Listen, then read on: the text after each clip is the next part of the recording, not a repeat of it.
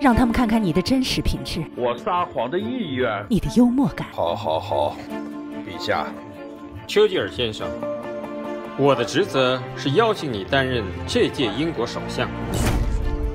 他是个戏子，喜欢有他自己的声音。你要回复这封给陛下的密件吗？我现在被封在厕所，我一次只能处理一件屁事。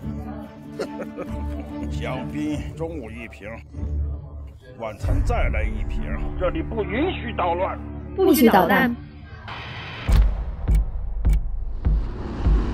我们估计西欧的崩溃就剩几天了。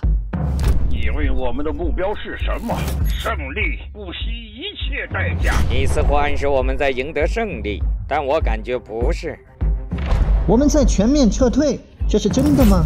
我们所有的部队都在敦刻尔克，而我们却无法接近他们。德国人是要把我们推到海里。我们和德国之间和平谈判出现了问题。欧洲仍然……欧洲已经崩溃了。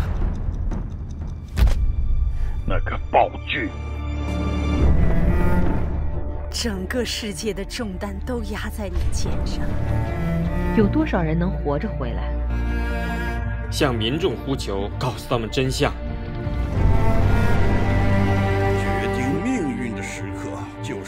个小时了。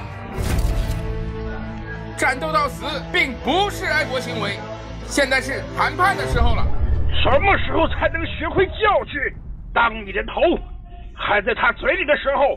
老虎是不会跟你讲道理的，我负全部责任。真的吗？当然是的，先生。